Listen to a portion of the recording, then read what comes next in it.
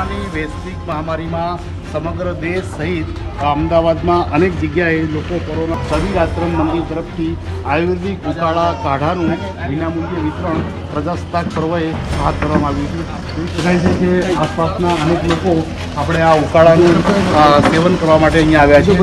એક એક ગ્લાસ ઉકાળો પી અને તંદુરસ્ત રહેવા માટે અને રોગ પ્રતિકારક શક્તિ વધારવા માટે નાગરિકો આપણે કબીર મંદિર તરફથી આપવામાં આવેલા વિનામૂલ્યે ઉકાળાનું સેવન કરી રહ્યા છે.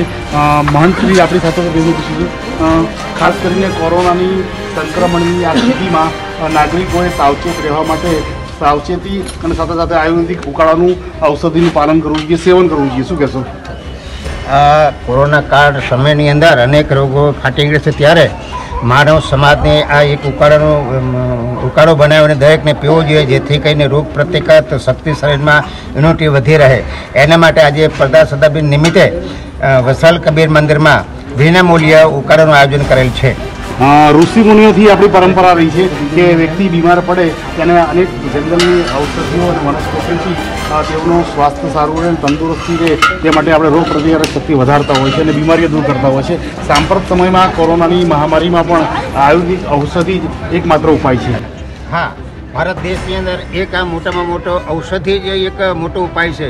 અન્યથા કોઈ ઉપાય નથી. પહેલાં હતો જ નહીં. આ જડીબુટીથી અને ઔષધિના ઉકાળાથી જ દરેક રોગ મટેલા છે અને અત્યારે મટી રહ્યા છે એમ સરકારશ્રીએ પણ સાબિત કરી બતાવ્યું છે કે કાઢો પીઓ અને રોગ ભગાવો ચોક્કસ કાઢો પીવાનો રોગ ભગાડો अ, आप बताइए औषधि एकमात्र उपाय है कोरोना से बचने के लिए और रोग प्रतिकारक शक्ति बढ़ाने के लिए जी औषधि जो है अ, अपने जो ह्यूमन इम्यूनिटी है अंदर का पावर बढ़ाने के लिए एकमात्र एक इसकी है सावचेती और औषधि दोनों इसमें जो है अगर ये दोनों काम रहा तो इससे हम विजय प्राप्त कर लेंगे। चौका विजय प्राप्त करी तो सका से हाँ।